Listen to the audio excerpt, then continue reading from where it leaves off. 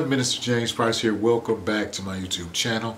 Thank you guys so very much for all of the love and support that you guys have shown me on my previous videos, all the likes and shares and the wonderful and very encouraging comments. And thank you to everyone that has subscribed to this channel. I really do appreciate you guys for helping me get closer to my goal of 1,000 subscribers. So thank you in advance. Thank you for listening to my brother, my mentor, Minister Barton Aaron Porter, for subscribing. Thank you guys. I, I, appreciate you guys and I want to say welcome and come on in to the new subscribers and I want to remind you guys that in the description underneath this video I put my personal email that way if you have any questions or concerns regarding any of my content you can just reach out to me and uh, people have done it in the past and I'll pray for you. I'll give you scriptures and it's just an absolute honor to be able to help anybody. So just reach out to your brother in Christ and I will help you guys out for sure.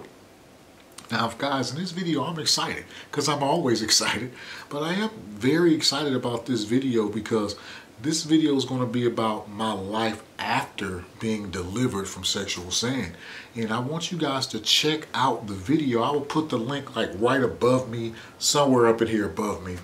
I'll put a link for my video uh, talking about my deliverance from sexual sin because it's an absolute blessing to anybody who has gone through uh, what I've been through. And it's, and millions, probably if not billions, of people who have been through that. So, you know, I want you guys to check that video out and so you can get more in depth of the story. But I'm not going to go in depth like that for the sake of time because I want you guys to just to, just to check that video out. But, man, I'm excited because, you know, I thought that being delivered by, by God Almighty himself that that was just it. I wouldn't have a desire to do anything, but unbeknownst to me, that's not the case. But, uh, you know, I'm very grateful because um, through through this situation, I've learned and the Father has helped me. And I said, wow, this is amazing, Father. I want to I want to help my brothers and my sisters on my YouTube channel. I want to help them too. They might this might help them too. So if you if you would allow me to do that, I'd love to do it to help them, and here I am.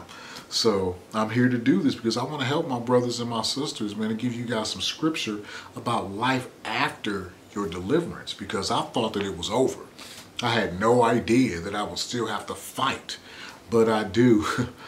and, um, you know, with, you know, when, when you're delivered, when you're delivered from from sin and bondage is, is and the yokes are broken upon your life, you're excited. And it's like, you're like, man, I'm free. It's like, you, you like the sky's the limit. You don't know what to do now. But, you know, I, it took 90 days of prayer for me with my, with my church family. We did 90 days of prayer. Day 83, the Lord delivered me. And I'm just like, man, I, I was expecting miraculous miracles to happen in my life, and it did. I mean, I was delivered from something that, that plagued me since I was a child, since 13, 14 years old. And um, I'm very, very grateful and thankful.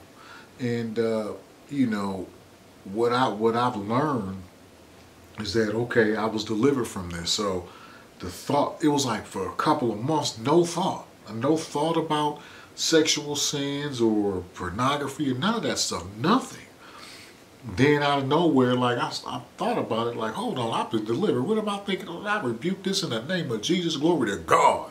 That's how I'm thinking, right? And then the thought came back stronger. I'm like, what the heck? Hold on now.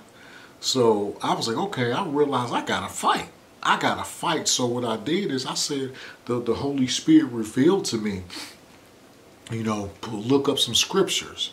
So I looked up all of these scriptures and then I said, the, the Holy Spirit said, recite these scriptures and to memorize these scriptures. So what I did is I wrote scriptures down, I memorized them. So I said, okay, I got sticky notes next to my my my dresser down in my basement, up upstairs in my bedroom.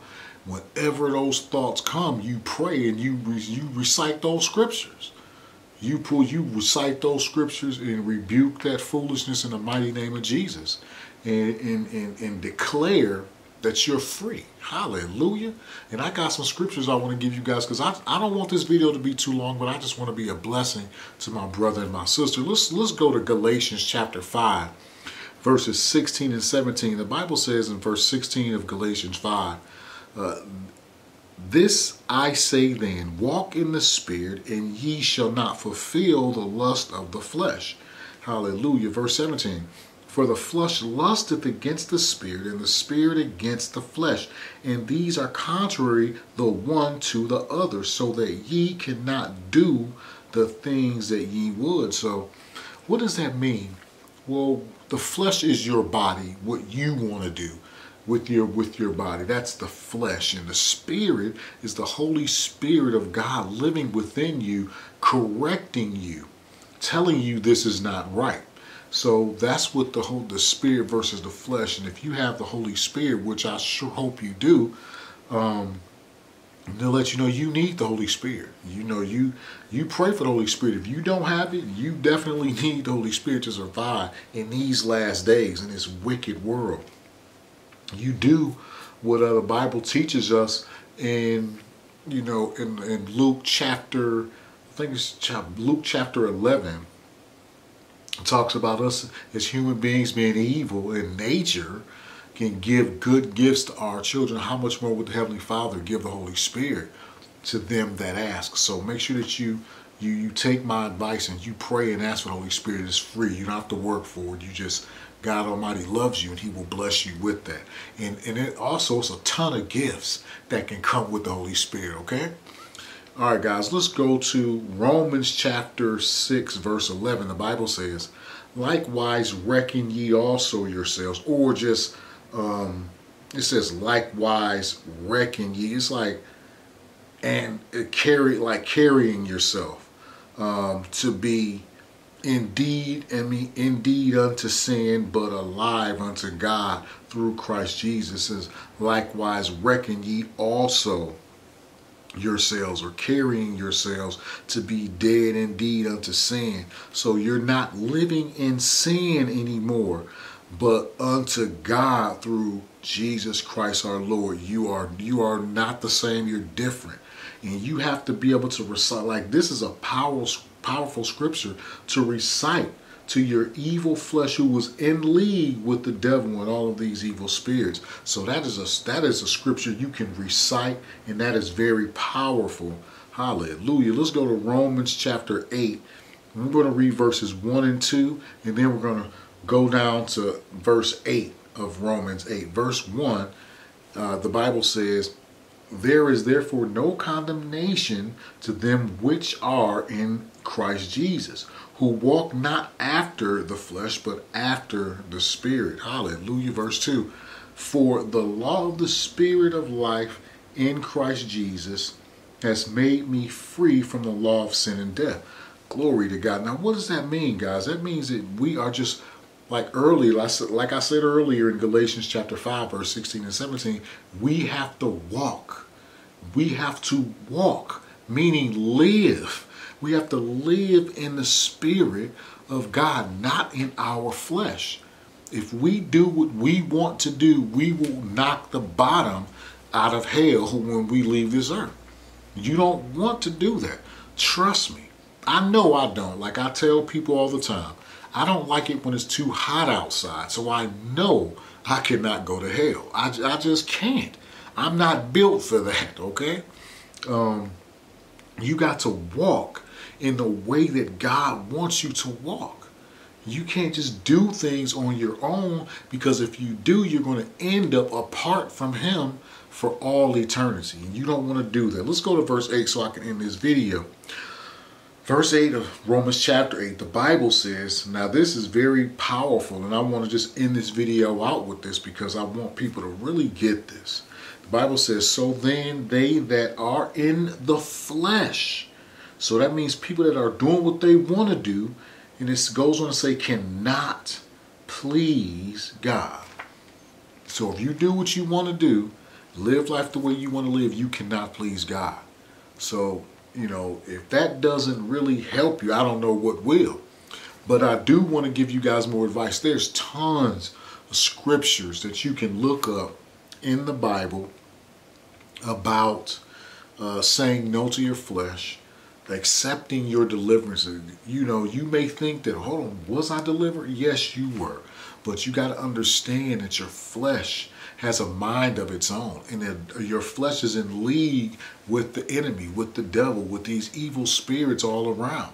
And they want you to be outside the will of the Almighty Father. But no, don't accept that.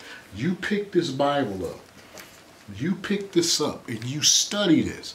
I got sticky notes. I got you know, my pen and my pad and, and I'm just highlighting things. I go in and I study the word. I memorize these words. I put it in my heart and in my mind and I recite this stuff. And I'm not just making this video for you guys. I'm making this video for myself as well. I need God as well. Okay? I, you know, I, I said to myself, I have to be ready when the enemy comes with his foolishness, I have to be ready when my flesh wants to do what it wants to do instead of what the Holy Spirit wants it to do. I don't know about you, but once you get tired of being tired, and once you get tired of having to get on your knees and cry and say, Lord, forgive me, Holy Spirit, I'm sorry for grieving you, then that's when change will come. Okay? All right, guys, don't be like a, a, dog going back to his vomit. Don't be like that. You want you you put your foot down and you open up this word and you write down scriptures and you recite those scriptures and you get on your knees and you pray and you accept your deliverance. You be strong in the Lord, okay? All right, man. I love you guys. God bless you. And I will see you guys in the next video. Bye.